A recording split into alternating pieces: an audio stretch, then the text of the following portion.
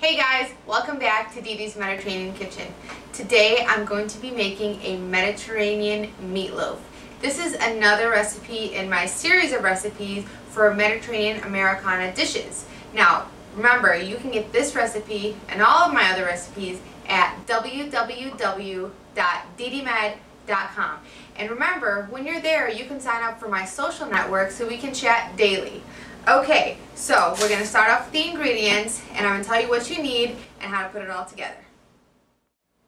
Okay, here we have two tablespoons of freshly chopped basil. I have a fourth cup of freshly chopped flat leaf parsley.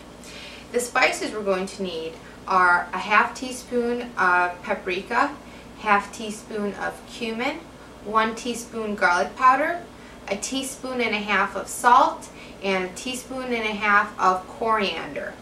I have one cup of uh, shredded carrot, one cup of frozen peas, half cup, or I'm sorry, a third cup of breadcrumbs. Any normal breadcrumbs will do.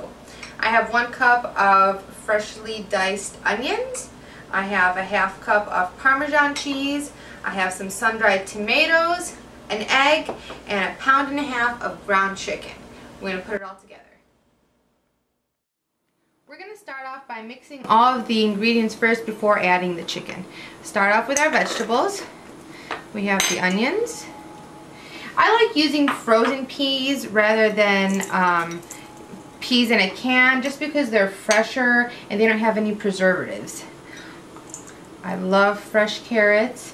And herbs, fresh herbs add a great, great amount of flavor to dishes. So I prefer using those whenever I possibly can um, rather than dried herbs. Here's our basil. Basil has wonderful aromatic smells. We have our Parmesan cheese, our breadcrumbs, and our sun-dried tomatoes.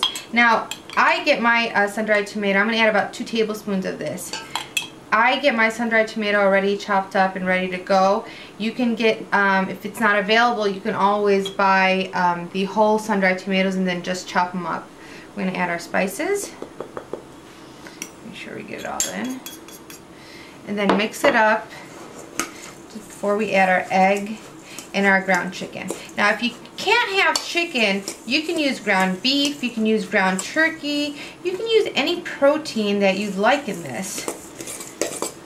It has a lot of vegetables and I, kids love meatloaf because you can get their vegetables in without them even knowing. If you have, you know, difficulty with your kids and them eating vegetables, this is the way to do it. So just like that, make sure it's everything's evenly mixed. I want to add some fresh black ground black pepper. Just about a quarter to a half teaspoon depending on how much black pepper you actually like.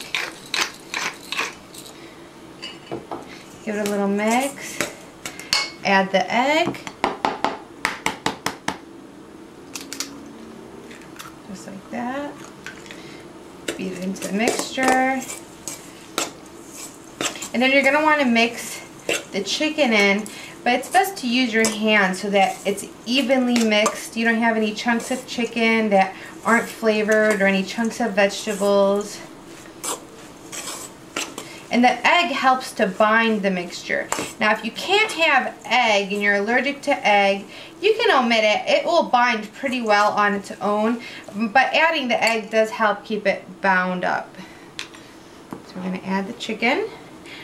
If you don't have ground chicken at your grocery store, you can always just get two lean chicken breasts. And um, in the blender or food processor, just blend them up and it serves the same purpose. So here we go. We're to get our hands dirty and mix it up really well. This is a great dish. It's, it's a great alternative to the regular old meatloaf because I know a lot of people are like, oh, I don't like meatloaf. It's, you know, it just doesn't have good flavors. This is a great, great flavorful dish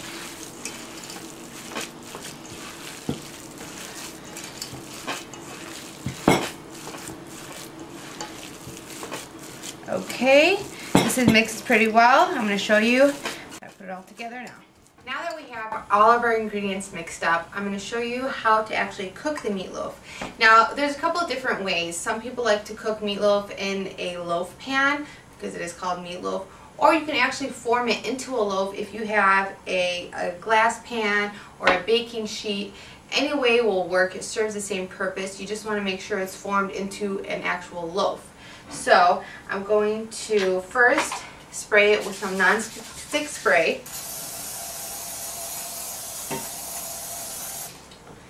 And then I'm going to form it into a loaf.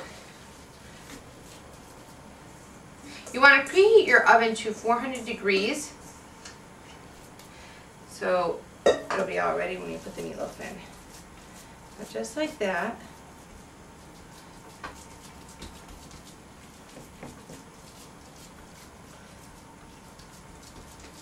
You want about three to four inches wide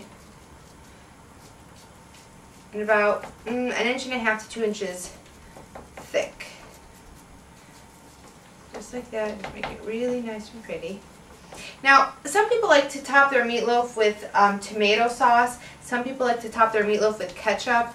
I prefer ketchup just because ketchup is a little bit sweeter and I like that sweetness and that acidity from the ketchup when you add it to the meatloaf. So just like that. And then we're going to cover it with some aluminum foil and then we're going to bake it for 20 minutes at 400 degrees and then we're going to remove the foil and bake it for another 20 minutes so it gets a nice crust on it.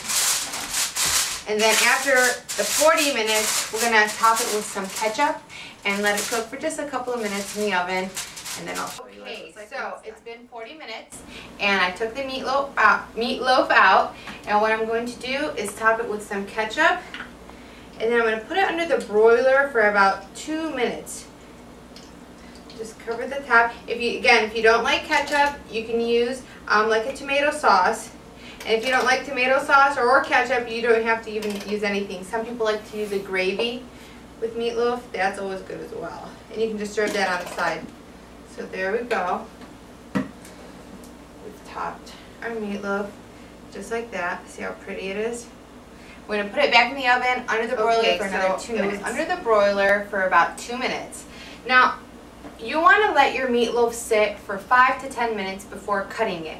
And always use this rule whenever you're cooking any type of meat or protein. Whenever you take it out of the oven or whenever you're done cooking it, let it sit for 5 to 10 minutes before you cut it. What happens if you cut it immediately is all the juices run out and then the meat tends to get dry. So if you let it sit, the juices stay within the meat instead of running out and you end up with a juicier meat product. So we're going to let this sit for 5 to 10 minutes and then I'm going to cut it and show you the wonderful colors inside this meatloaf.